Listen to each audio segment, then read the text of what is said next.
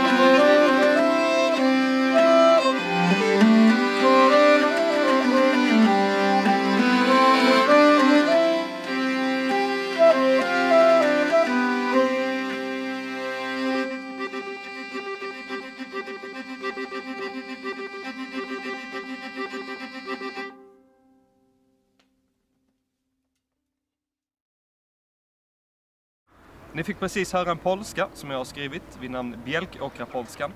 Och den är tillägnad till gården där jag växte upp.